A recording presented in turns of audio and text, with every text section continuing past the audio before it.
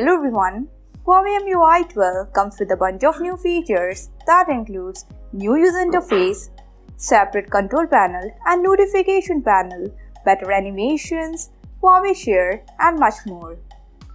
So Huawei users, do you know how to check for the latest update on EMUI 12 install Huawei smartphone? Well, in this video, we are going to give you the live demonstration of how to check the latest software update on the Huawei smartphone. So, let's start.